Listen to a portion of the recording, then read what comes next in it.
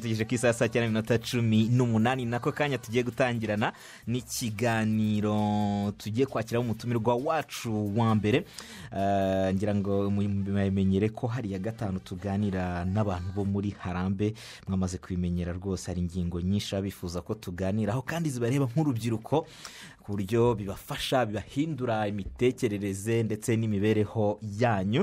N'uyu munsi rero niko bimeze muri aka kanya tugiye kwakira abantu bo muri harambe turaganira mu gihe cy'iminota mirongo itatu. Ni ikiganiro namwe muri buze kugiramo uruhare aho muza kuduhamagara ku mirongo yacu ya telefone mukagira ibyo mubaza eh, mutari busobanukirwe wenda ku ngingo nyinshi turi buganireho uyu munsi kubera ko ntabwo turi bufate ingingo imwe. Hari ibiganiro byinshi twakoranye nabo. Twaganiriye eh, ku buryo urubyiruko rwatangira cyangwa se rukazamura ubucuruzi ruhereye ku gishoro rufite.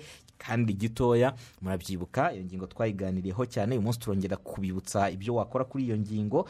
Turaza kandi kuvuga ku bijyanye na- na- n'uburyo bwo kwimenyereza umurimo hakiri kare ku rubyiruko ni ikintu mujya muvuga cyane ukavuga ati egisperiyanse nayikura he?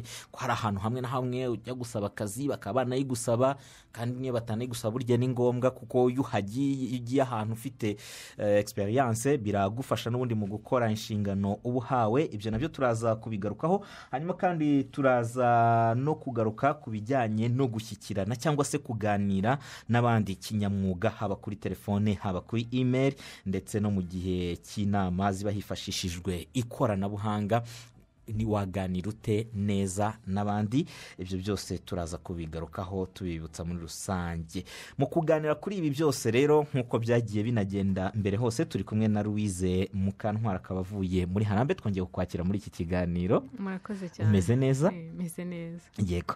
Mu gutangira twabigize umuco. Turongera tukibutsa abantu harambe icyo ari cyo ariko nanone na serivisi mutanga muri harambe bwo wabanza ukatwibutsa. Ni iki serivisi mutanga? Ni izihe? Eh, harambe ni umuryango udaharanira inyungu ukorana na leta ibigo byigenga n'urubyiruko muri rusange mu rwego rwo kurwanya ubushomeri. Intego yacu ni ugukuraho imbogamizi zituma urubyiruko rubura akazi mu rwanda. Eh, dutanga rero inama zitandukanye ari zo serivisi zacu vuga dutanga ku rubyiruko ah, tubigisha uburyo umuntu yandika umwirondoro ah, bizwi kuri seve neza ni gute umuntu yandika umwirondoro neza ni gute wakora ikizami cyo kuvuga. Ariyo intaviyu ni- bayikora bate? N'amatipusi cyangwa inama zitandukanye z'uburyo umuntu ashakisha akazi. Eh, ibyo rero um, umuntu uduteze amatwi urubyiruko cyane cyane basura urubuga rwacu rwa interinete wawawa akadomo harambe. Harambe ni ijambo ryandikwa uko mu kinyarwanda ariko rifite e ebyiri ku musozo akadomo rwa. Aho ukeneye ku- kumenya uburyo wakandika umwirondoro wawe urubyiruko rwo rwose aho ruherereye mu gihugu ushobora kwandika ukohereza umwirondoro wawe kuri seve nyine ni cv ati harambe doti rwa. Ukaba twareba iyo cv tukayigukosorera ikindi niyo ugiye kuri urwo rubuga nababwiye rwa interinete usangaho uburyo wakwiyandikisha kugira ngo tugufashe. Uri gutegura interiviyu wenda wa- wapurayinze ahantu. Umukoresha akubwira ko ufite intaviyu igihe iki n'iki ukeneye inama zitandukanye cyangwa kwitegura ah, uburyo ukora icyo kizami. Ibyo na byo turagenda hari ukuntu tubiturakinga muri sisitemu tukabona uwo muntu wadusabye iyo serivisi tukamuhamagara tukamufasha. Mm. ni byiza ni serivisi nyinshi kandi nziza. Eh, usibye eh, imeri wari utanze ndetse n'urubuga bashobora kunyuraho ngira ngo n'abandi bafite ibibazo bashobora kubaza Eh, bashobora no kujya bahamagara kuri zeru karindwi umunani kabiri kabiri icumi mirongo icyenda na karindwi mirongo itatu na kabiri. Iyi nimero ndayisubiramo ni zeru karindwi umunani kabiri icumi mirongo icyenda na karindwi mirongo itatu na kabiri. Ushobora koherezaho ubutumwa ushobora guhamagara ikibazo cyose. No ku byo turi buze kuganiraho muri iki kiganiro wenda tugasoza ikiganiro utabonye umurongo wacu wa radiyo ngo uhamagare. Ushobora kuza guhamagara kuri uyu murongo wa telefone nyuma y'ikiganiro. Baragufasha rwose ku cyo waba ushaka kumenya icyo ari cyo cyose. Hari icyo wari uvuze rero uti mwifuza gukuraho imbogamizi zose zatuma urubyiruko rubura akazi. Eh, imbogamizi mwabonye zishingiye kuri urwo rubyiruko kuri ibyo wenda ruvuze ko mubafasha mu kwandika seve mu gukora interiviyu cyangwa hari n'izindi. Eh, hari imbogamizi nyinshi dufite uburyo tubaza ibibazo bitandukanye urubyiruko. Usanga urubyiruko rwinshi ruvuga ngo impamvu ntabona akazi ntago ngira amafaranga. Iyo uvuze amafaranga wenda ni kwa kundi yirwa azererana dokima ajya gu- gu- gushakisha akazi. Ah, iyo akaba ari imbogamizi bakunze kuvuga. Ikindi bakunze kuvuga bati eh, uburambe ntibuhagije. Abakoresha batubwira ko dufite uburambe buke cyangwa niyo tugiye kureba akazi kuri za online portals usanga bari gusaba yenda uh, experience y'imyaka itanu kandi ntayo dufite. Usanga ibindi ukumva urubyiruko ruravuze ati aho ntuye ngewe cyangwa aho nturuka. Nta kazi mbona cyangwa ikindi ati ndapurayinga umukoresha ntabwo ajya ansubiza. Eh, hari imbogamizi nyinshi rero bagenda bavuga icyongereza cyanjye ni ikibazo ibyo byose ni ibintu bagenda batubwira bitandukanye. Nibyo tujyamo tukareba ayo makuru baba batanze tukagerageza gutegura ah, tips cyangwa icyo twakwita inama zitandukanye z'ukuntu twabafasha kugira ngo oh, biyubakemo icyizere cyangwa bagire n'iyo confidence bagiye Yego. gukora ibyo byose. Hari abo bashaka akazi bashaka gukorera abandi ariko ntabwo murekeraho gusa munatekereza n'abandi bashaka kwikorera. Na- bakikorera ndetse bakanagatanga iyo uganiriye n'urubyiruko rwinshi. Ntugatere ko ko mushishikarizwa kwihangira imirimo ko mutihangira imirimo. Ikibazo ni ikihe bamwe bati biragoye kwihangira imirimo igishoro ntacyo. Eh, buri wese ukumva ashyize imbere icyitwa igishoro. Mu biganiro mutanga mu- muri uko gufasha urubyiruko mwebwe musesenguye mubona igishoro ariyo mbogamizi ikomeye mu kwihangira imirimo mu gutangiza ubucuruzi ku rubyiruko. Icyo ni ikibazo cya mbere. Hanyuma ufite igishoro gike birashoboka. Cyangwa utanagifite birashoboka ko yakwihangira umurimo. Mm, reka wenda mpere nsubiza ku kibazo cya nyuma mbajije ati birashoboka ko yakwihangira umurimo. Ni ibintu bishoboka cyane. Usanga nk'uko ubivuze imbogamizi bo bavuga bati mfite nta mafaranga mfite. Igishoro cyanjye kiri hasi cyane Eh? ariko mu by'ukuri eh, kwihangira umurimo ntago akenshi bi- biterwa n'igishoro ufite Mm? ni uko urubyiruko rimwe na rimwe navuga ngo hari igihe batagira ah, gufata umwanya ngo batekereze bamenye ikintu bashaka. Eh, iyo ushaka ikintu bisaba mm, urugendo rurerure. Hari intambwe ya mbere uba ugomba gutera. Rero nk'iyo urubyiruko akubwira ati "Eh, nshaka gutangiza umushinga ariko nta kapito mfite. Usanga benshi akubwira amafaranga yo hejuru cyane. Akumva ko gutangiza uwo mushinga bisaba amafaranga. Ariko ikintu cy'ingenzi ubundi umuntu aba akwiye gutangiriraho ni igitekerezo. Icyo gitekerezo cyawe wagize. Ukabanza ukanasobanukirwa aho utuye cyangwa se sosiyete nyarwanda ikeneye iki. Icyo kintu uwo muntu aba akeneye nacyita nk'ikibazo eh? ugatekereza ikibazo ujuje gukemura. Muri sosiyete nyarwanda. Urabona iyo hariho ikibazo runaka nk'urugero ntange nk'iyo umuntu afashe akagenda agashyira ka disipanseri ahantu nk'inyamirambo ni uko aba yarebye muri iyo karitsiye akareba hakunda kuba ama agisida abantu banyweye barasinda bagize bate. E umuntu azajya mbere yo kugira ngo wenda ajye kwiruka ajya sehashi kazajya abanza no kwipfukishiriza ahantu muri aka gakaritsiye karimo akavuyo. Ukabona uwo muntu yatekereje neza ko we aje gukemura ikibazo abaturage. Rero usanga rimwe na rimwe urubyiruko nawe hari igihe ashaka guhita asimbuka ngo ajye eh, gukora ubwo bucuruzi atabanje gutekereza ese ni ikihe kibazo aje gukemura aho hantu atuye Mm? aha hera avuga ati iki kintu kiragaragara nk'ikibazo mu baturage bazagikunda bazajya baza kukigura? Eh, reka ntange n'akandi ka egisampure koroshye Eh, urabona muri iki gihe abantu bakunda kubyibuha cyane ugasanga umuntu wese arashaka gukora siporo eh? ariko hari nk'umuntu uvuga ati eh ngiye nshobora gu- gu- gu- gufungura bizinesi aho nzajya ah, nigisha umuntu gukora siporo eh? kuko ari kubona ko ari ikintu gikenewe cyane umuntu arashaka uburyo yananuka eh? ngiye mfite izi tipusi cyangwa izi nama zitandukanye nzakoresha kugira ngo eh, abakiriya bose mbazane. Nzabona n'umuntu wa mbere nzabikorera bimugire akamaro menye uburyo nakoresha ah, mbasha kugira ngo nzane abandi bakiriya. Rero urubyiruko eh, narugira inama yo kubanza kumenya eh, ni hehe ushaka kugera? Icyo gitekerezo cyawe cyonyine ni cyo gifite imbaraga. Ushobora no kureba mugenzi wawe ukiganiriza. Eh, wowe ushobora kuba udafite ayo mafaranga wabitangiza cyangwa ushobora no kuba utazi ko wakoresha sha- social media kugira ngo ube wabasha kubona abo bakiriya. Ariko ufite mugenzi wawe usobanukiwe ibyo bintu by'ikoranabuhanga we ashobora no kugukorera publicité y'icyo kintu cy'icyo gitekerezo. Eh, rero ni nakangurira urubyiruko kujya babanza bakamenya ibyo byose twavuze no kumenya no gukorana n'abandi na byo kuko ushobora no kubwira umuntu igitekerezo akumva ni cyiza we afite amafaranga ahubwo we yarabuze igitekerezo. Igitekerezo ni cyo gishoro cya mbere. Ese unyibutsa jay paul yigeze kuvuga ngo kuba uriho ni cyo gishoro ahangaha ni byo mfite igitekerezo. Hari akantu usorejeho eh, kumenya gukorana n'abandi ugashaka abafatanyabikorwa. Burankeka ko na byo ari isomo rikomeye kuko ntabwo ari buri wese ushobora kwegera runaka ageza n'aho amwemeza ko agomba gushora mu mushinga we. Nk'umuntu uha- ndabizi abatwumva bavuga ati ibitekerezo turabifite. Ariko se turakomanga he? Eh. uramubwira iki kugira ngo abe yashora mu mu mushinga wawe? Abe yaguha icyo gishoro kuko kirakenewe. Uko byagenda kose niba ufite igitekerezo hari ibitekerezo bisaba ko kubishyira mu bikorwa bigomba kuba biherekejwe n'ayo mafaranga. Nk'inama ushobora guha umuntu nk'uwo noneho ubifite uburyo bwo kwegera gushaka abafatanyabikorwa bwiza ni ubuhe? Em, wenda ntaratanga inama hari ikintu nagaya urubyiruko. Eh, urubyiruko ni abantu bakunda ibintu bije utarushye. Eh? umuntu akumva yabyuka abona ikintu cyiza icyo kintu nkunda kukivuga. Eh, impamvu nyivuze hari igihe uba uri nko gu- guhugura urubyiruko akavuga ati "Eh, akazi karabuze nge na purayinzi inshuro igihumbi nta muntu nsubiza. Wamubaza se wagiye ku mukoresha wa mbere ujya aranga ujya ku wa kabiri ugera mu bakoresha icumi bose baranga. "Eh, ngo nkubwije ukuri ntabwo nabagezemo. Ese wigeze ugenda ukomanga urugi ku rundi ubaza bara- baragusuzugura? Hari n'uvuga ati njye nagiye ahantu hatatu umu- umu receptionist aransuzugura mpita mbivamo. Urumva? Eh, bagira ikintu cyo kudakora cyane icyo nakita hard working kumenya ko ugomba gushyiramo imbaraga zawe zose.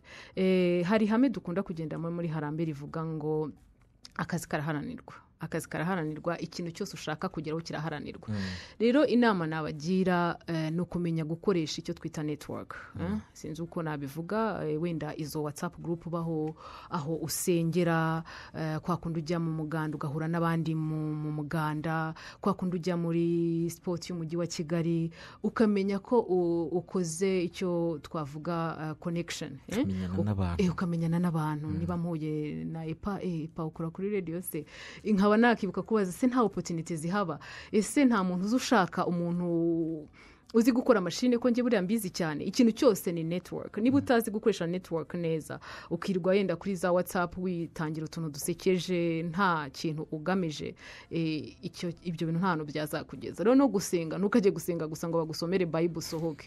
Jya uhura n'abantu unabasuhuze unabamenye umenye n'ibyo bakora umenye n'ibyo bakeneye. Ibyo byose iyo network izagufasha ni naho icyo gitekerezo cyawe ushobora gusanga mu bantu icumi wabajije nta n'umwe ariko muri ba bandi icumi uwo wabwiye igitekerezo akazaganiriza. Epa ati e urabona uriya mwana afite igitekerezo kimeze gutya?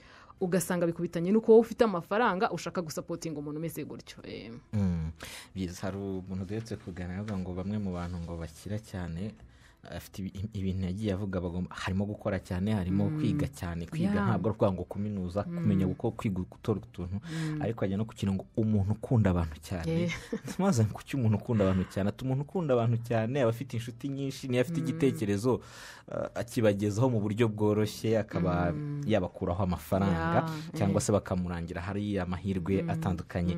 Icyo cyo kwihangira imirimo abantu cyangwa se gutangiza ubucuruzi bahereye eh, ku, ku, gitekerezo bahereye ku gishoro bafite batarebye ikiri kure tukivuyeho. Reka tujye ku yindi ngingo nifuza ko tuganiraho ijyanye no kwimenyereza umurimo hakiri kare. Kubera icyo ari ngombwa kuba nakwimenyereza umurimo hakiri kare.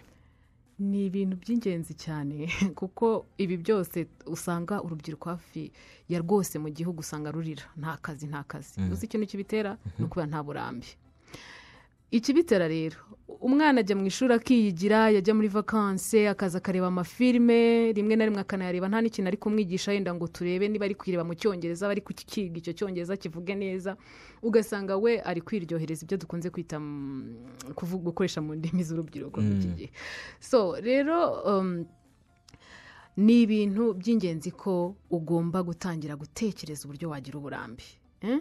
ukiga muri segonderi kwa kundi ujya muri vakanse ukamenya uti ninjya muri vakanse niba nkunda nifuza kuzaba umunyamakuru. Reka ngerageze byenda tumaze no kuvugana network. Ngerageze menyanye n'abanyamakuru. Ngerageze nkore research menye ngo umunyamakuru mwiza ni izihe skills agomba kuba afite. Eh, ibyo rero ni ibintu bikwiye gukorwa kare utararinda urangiza kaminuza ngo ubone gutekereza uburambe. Kuko nurangiza kaminuza tuvuga urangije kaminuza ufite imyaka makumyabiri n'itanu ahantu hose uri kwa purayingi uri gusanga bavuga imyaka itatu ahantu hose uri gusaba nako intanoshipu cyangwa aho wanakorana ubushake bakabyanga. Kuko hari n'igihe umukoresha yibaza si umwana abonye kugira bachelor yibuka kuba ari bwo ashaka uburambe. Hari n'igihe usanga ku ishuri hari opportunity runaka umwana yakigiramo uburambe ugasanga ntabyo yitayeho akumva ah uburambe nzambushaka cyangwa ukabona ikindi kintu mu rubyiruko akumva ko kugira digiri ari cyo kintu ki- ah, njye mfite digiri ah, muri iki kintu runaka ntabwo nakora akazi mbonye. Ntabwo nakora uka- ukamubaza se byibuze mu byumweru bine bishize wa- washatse akazi hangahe? Eh mu by'ukuri nta na hamwe. Urumva ko hatarimo bya bindi twavuze gukora cyane. Bisaba umuntu gukora cyane. Eh, rero sinzi uko nabivuga kugira ngo babyumve neza uburambe ni ukubushaka hakiri kare hashoboka. Unashatse ahubwo watangira muri pirimeri watangira muri pirimeri hari akantu iyo urebye wowe iyo usesenguye murebye n'abo muhura nabo. Uwo muco wo kuba abantu baharanira gushaka uburambe akemera akajya kuba umukorerabushake. Umukorerabushake. Urahari mu rubyiruko rw'u rwanda? Ubu wenda navuga ngo bitangiye kuzamo gakeya. Gake. Nabwo ntabwo navuga ngo ni neza kuko arakubwira ngo ah ngo ndagenda ngo ntabwo rega ngo n'abakoresha bizera ngo iyo ngiye kumusaba ngo mukorere ngo aratekereza ngo namwiba Eh, urumva? Kubera ko nanone atazi uburyo bya bintu bikorwamo. Mm? twavuze ikintu cya netiwaka niba waragiye uciye ku muntu runaka umuntu azakwizera pe. Ariko niba se utarabanje no gutangira rega buriya no, no, ku- no, ku- no kubaka netiwaka na byo ni experience niba mu buzima warikuriye ukarinda urangiza kaminuza nta n'umuntu muziranye eh? ukarangiza kaminuza yenda mu ikoranabuhanga nta n'umuntu muziranye uzi, ukora muri iyo department eh? rero ni ibintu um, usanga ko hakiri ikibazo kinini gukorana ubushake nanone ubona ntabyo bashaka. Hari igihe eh, natanga nk'urugero hari igihe harambe ijya ikonekitinga eh, wenda sinabivuzeho neza cyane n'uri duhuza abakoresha n'abantu bashaka akazi ugasanga harambe ihuje umwana n'akazi.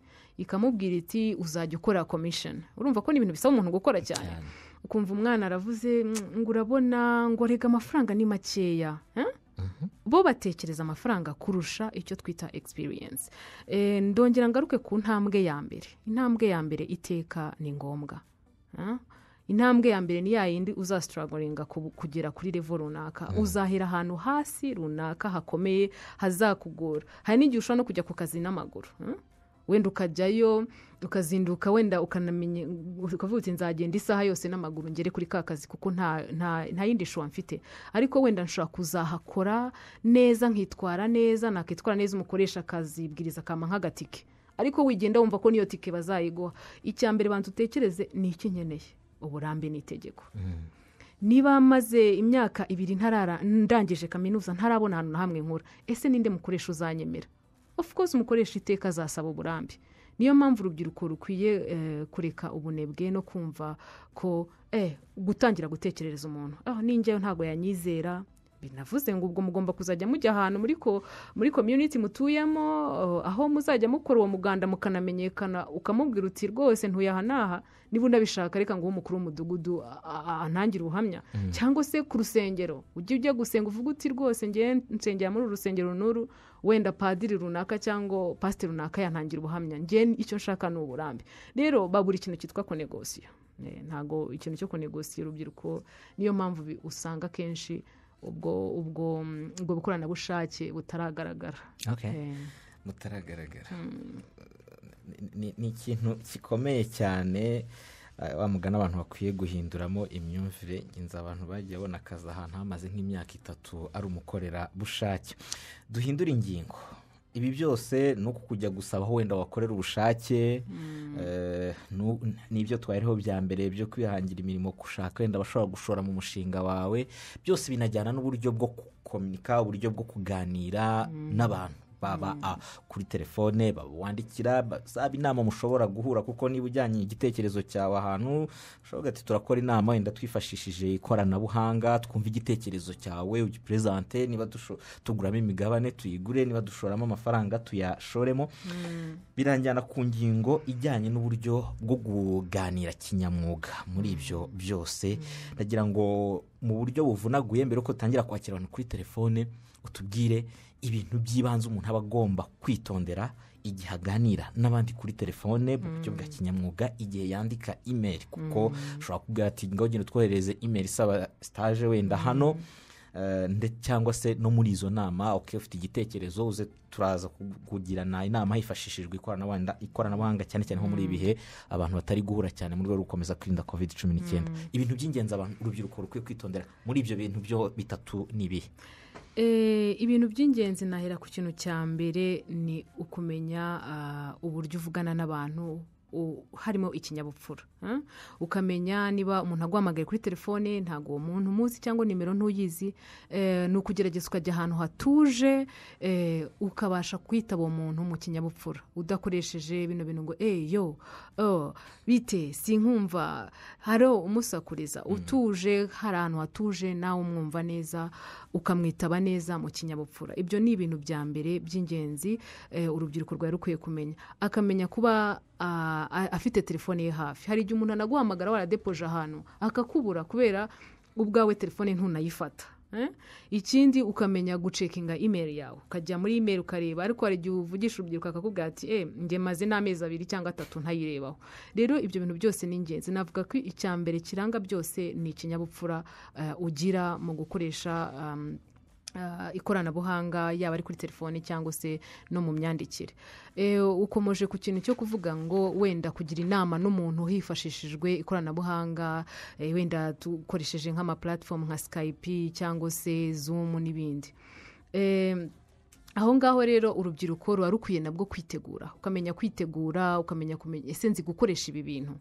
Nzi kubikoresha neza. Rero hari igihe nk'ubwo ngubwo wasabye n'ako kazi bakubwira ibyo bintu ntubizi. Bivuze ngo eh, urubyiruko eh, birarusaba gukora cyane ukamenya kwiga utuntu dushyashya. Nk'umuntu uri gushakisha akazi. Ibyo bizabafasha rubyiruko muri kutwumva muri aka kanya. Hari icyo udasobanukiwe kuri byose tugarutseho ko ari bitatu eh, ushobora kuduhamagara ku mirongo yacu ya telefone muri aka kanya turakwakira eh, ubaze ikibazo uraza gusubizwa. Kanakire umuntu wa mbere kuri telefone. Halo. Halo. Wi wiriwe neza? Bya bindi wahoze uvuga reka twakire undi halo wiriwe neza. Komine mukomere. Komera ninde tuvugana? Natanga imana vereriyane yego wanatubwira nimero yawe ya telefone biraza kudufasha. Zeru karindwi umunani. Yego. Gatanu umunani. Mm, kane kabiri. Yego. Kane umunani. Kane umunani. Ngaho tumbaze ikibazo cyawe rero. Na zeru twayongeho awurara agiye atatu atabajije ikibazo cye umuntu uduhamagara uyu munsi eh, unasige nimero yawe. Eh, unasige nimero yawe. Twakire undi kuri telefone. Halo halo halo wi wiriwe neza? tumeze neza? Ninde tuvugana? Ntabwo ari kuri radiyo rwanda. Ni kuri radiyo rwanda wahageze. Halo. wi wiriwe neza reka twakire ni salama. Ngo ndamukiriza n'umutumirwa arakumva ruwize rwose ariko ubwo urumva inama nziza n'ibitekerezo byiza by'uwo mumama. Niba ari n'umumama koko? Icyiciro cyose umushyiramo aracyemera hari ngaho ugira ikibazo uzi ko ubaza uzi ko byonyine ibyo ngibyo bigendeyeho byazakugeza no mu ijuru. Murakoze umva umva nkubwire uretse kujya ora nagiye ataduhaye nimero ya telefone. Ati byanakugeza mu ijoro umva ko hari icyo akuyemo. Twakire. Undi? Halo salama. Ok ubwo ni valesi kuri nyungwe ndi hano i nyamagabe mu nkomane yego valence banza utubwire nimero yawe ya telefone mbere yuko ugira ikibazo ubaza. Ni zeru karindwi umunani kabiri gatatu. Yego. Kane gatatu. Yego. Gatanu zeru gatanu. Gatanu zeru gatanu. Ngaho ugira ikibazo ubaza cyangwa igitekerezo utanga kuri iki kiganiro. Noneho rero kuri icyo kiganiro Mm, ni uko hari aho basaba wenda no ku rubyiruko bakavuga ngo bajye gutanga n'ingwate. Mm, mbere y'uko nyine ngo ba babona nyine babaha mbega icyo baheraho yego babaha nk'inguzanyo. Eh, icyo eh, ayo mafaranga baba bumva bayakura hehe kandi ari ugutangira Eh, nkumva rero aho harimo imbogamizi barebye ukuntu babikosora byarushaho kuba byiza noneho urubyiruko rukabasha kujya rwakaba rwatera imbere narwo byihuse. Urakoze cyane. Sawa sawa. Nsaba valensi twakire undi valensi iki urabigarukaho nyuma? Halo? Narwo byihuse Alo. we Alo. wi wiriwe neza. Halo? Twakira undi kuri telefone. Halo. Wi wiriwe neza? Yego ninde tuvugana? Avugana na Gerardine. Eh, jardi waduha nimero yawe ya telefone? Yego. Icumi? Mirongo irindwi. Mirongo icyenda. gatanu. Ngaho noneho komeza n'ikibazo ufite cyangwa inyunganizi ku kiganiro um- tumaze kugezaho yego uzamura ijwi tubashe kumvikana. Niyihe nama yagira nk'urubyiruko kuko urubyiruko hari ukuntu? Niyihe nama yagira nk'urubyiruko? Eh, kuko buriya urubyiruko rwo muri iki gihe wenda tujya mu rwanda hari ukuntu nk'umuntu wenda muhamagara kuri telefone akamubwira ati yo yabagiriye inama yo kujya? Ba- bi- bitaba umuntu mu kinyabupfura cyangwa bakagaragaza yego. Urakoze cyane jardi arakoze cyane. Reka tubanze usubize kuri ibi bibiri tubone kwakira abandi. Eh, valensi Eh. yavuze ati ikibazo cy'ingwate ku bakeneye inguzanyo bati kiyona ni imbogamizi ikomeye. Mm. Eh, tujye kuri rone ah, izo nguzanyo ari kuvuga um, wenda eh, nka harambe twebwe ibintu dukora nta muntu dusaba amafaranga ibintu byose harambe ikora ni ubuntu. Eh, gusa icyo namubwira nk'uko harambe iri hano mu rwanda ifatanyije na leta y'u rwanda gukora imbogamizi z'ubushomeri cyangwa gushyigikira urubyiruko eh, twa vugana n'abakoresha eh, ba- ba- abandi bakoresha basapotinga urubyiruko eh, kuba wakorohereza urubyiruko cyangwa se tukanabwira abakoresha bari kutwumva muri aka kanya cyangwa eh, ibigo bitanga inguzanyo eh, cyane cyane abafasha urubyiruko kuba batazajya bagora urubyiruko. Niba umuntu afite igitekerezo cyiza bakamufasha batashyize amananiza. Yego. Eh, Uh, m- Gerardine nawe yashaka kugaruka ku kijyanye n'uburyo ngo urubyiruko rugomba kwitaba n'ikinyabupfura kuri telefone. Eh, nigeze kubikomozaho ikintu cya mbere ni ukumenya ni ukwirinda gufata telefone uri ahantu hasakuza. Tuvuga uri mu mujyi uri mu isoko um, irinde gufata iyo telefone. Umwandikire. Cyangwa se umwitaba umubwire uti eh, ibyiza aho kugira ngo umwitabe n'ubundi uvugwe aro aro nk'uku nguku nawe byaba biri kunanira kumvikana n'umuntu kubera yashyizemo radiyo byaba byiza iyo nimero uyiretse ubundi ukandika akamesaje mu nkirihanganire ndi ahantu hadatuje ndaza kubavugisha. Ubundi rero ukaza kumuhamagara ukamwibwira nitwa louise mu minota makumyabiri ishize mwampamagaye ndi ahantu hadatuje Eh, ukamwitaba nyine icyo kinyabupfura turi kuvuga ukavuga icyo ushaka icyifuzo nawe ukumva icyo akubwira. Ukirinda kwitaba eh, nka bino wenda ngo sarama epa ok ntabwo ndi kubagaya ariko muramenyeranye ni urubyiruko niba nimero iguhamagaye ntuzi niba ari umukoresha. Salama ibyo byose ni ibintu bimwerekana. Ntimumenyeranye eh, nta hantu akuzi ntabwo hari imvugo tudakwiye kuvuga. Tukavuga ikinyarwanda cyacu mwaramutse mwiriwe. Eh, twakira abandi babiri kuri telefone. Halo? Halo? Wiriwe neza? Wiriwe yepa yego ninde tuvugana? Ndabizere domisiyeni domisiye yesi irindi? Ndayizere domisiye yego duhe nimero yawe ya telefone mbere yo kubaza ikibazo cyawe. Zeru karindwi mirongo inani na gatatu. Yego. Icumi yego. mirongo inani na gatanu yego.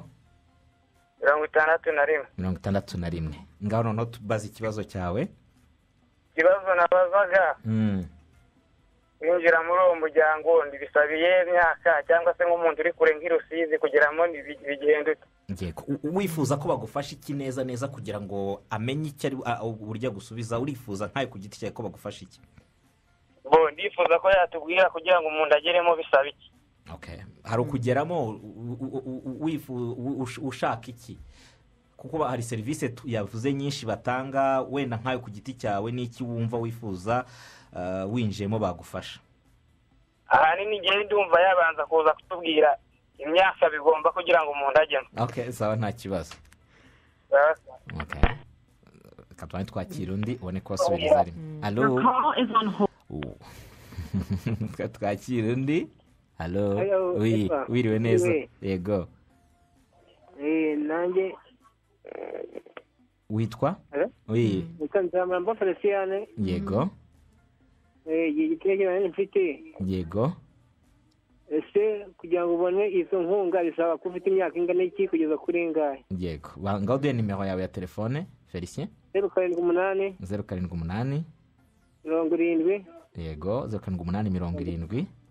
Mirongo itandatu na gatanu. Mirongo itandatu na gatanu. Icumi gatandatu. Icumi gatandatu. Okay. twakira umuntu umwe kuri telefone duhite tunasoza. Halo. Halo. Wi halo. Wi salama epfa salama. Ubwo ni gahire mu gakenke. Gahire mu gakenke. Nimero yawe ya telefone gahire? Nimero yanjye ni zeru karindwi umunani. Yego. Gatatu kane gatanu. Gatatu kane gatanu. Icyenda na rimwe. Icyenda na rimwe. Zeru karindwi. Zeru karindwi. Ikibazo cyawe cyangwa icyifuzo? Icyifuzo rero ni uko bazavuganira urubyiruko. Ikintu bita uburambe rwose ntibajye babwibandaho cyane. Uburambe. Kubera ko Mhm. nta hantu nta shuri ry'uburambe tujya tubona bashyiraho ngo umuntu ajye kwiga ashakemo uburambe. Kandi yahoze akubwira aho ishuri ry'uburambe riri. Eh, igihe nyine none se ubwo nk'uwaza kuvuga kuri radiyo rwanda ngo gushaka uburambe mwamuha akazi ngo nakore eh, ashaka uburambe reka aza gusubize urakoze cyane sawa. urakoze cyane. Subiza abantu batatu dusoze. Reka mpere kuri domitien eh, yabajije ngo ni imyaka ingahe? Dukorana n'urubyiruko ruri hagati y'imyaka cumi n'umunani na mirongo itatu n'itanu. Eh, turuha amahugurwa uburyo umuntu ashaka akazi bandika seve gute ni na gute umuntu akora interiviyu ikindi tukabahuza n'abakoresha. Muri rusange ni ibyo dukora muri harambe. Eh, uwa kabiri ni felicien yabajije nawe ni imyaka. nawe n'imyaka bose mbasubirije kimwe. Eh, uwa nyuma ni gahire yabajije ku kijyanye na experience. Twamaze kubivugaho ni ibintu bigusaba gukora cyane gutangira kwitoza hakiri kare eh, gukora kuba umukoranabushake waba umukoranabushake ahantu hatandukanye. Aho utuye eh, isi inshuti yawe ikora ikintu runaka eh, mu rusengero usengamo um, n'ahantu hatandukanye umuntu yaba umukoranabushake cyangwa se niba ushaka kuba umunyamakuru ushaka kuba umu akawuntenti ushaka kuba ikintu runaka ejo hazaza uzagenda muri organization zifite iyo myanya usabe eh, gukora internship cyangwa se kuba um, umukoranabushake. Kwimenyereza. Eh, Mm. ni ibintu rero bisaba umuntu gukora cyane no kumenya eh, kubwira umuntu akakumva kandi ntucike intege ugakomeza ushakisha ahantu hose hatandukanye. Mm. Ya yego turasoje louise. Eh, gusa nibutse abantu bafite ibindi bibazo. Abantu mufite ibindi bibazo mwumva mukeneye ko louise na bagenzi be muri harambe bashobora kubasubiza haba kuri iyi ngingo cyangwa n'izindi zose. Mushobora kuza guhamagara ubu ngubu mwahita munahamagara iyi nimero zeru karindwi umunani kabiri icumi mirongo icyenda na karindwi mirongo itatu na kabiri.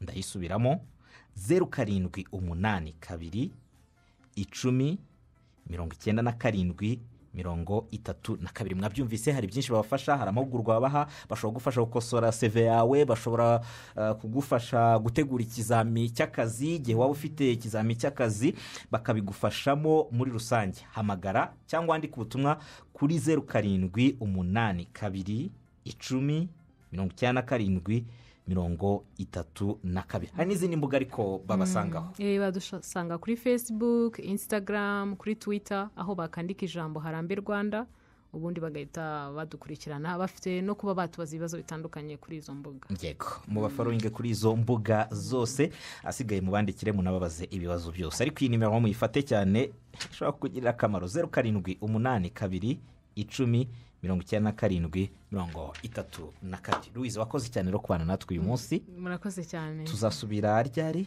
Eh, tuzasubira mu kwezi gutaha. Mu kwezi gutaha ubwo ni hari mu kwa cumi n'abiri. Mu kwa cumi n'abiri hari ikindi kiganiro. Ubwo na cyo mugitegereze hari byinshi bazaza babazaniye mu kiganiro cy'ubutaha. Wakoze cyane. Murakoze amahombe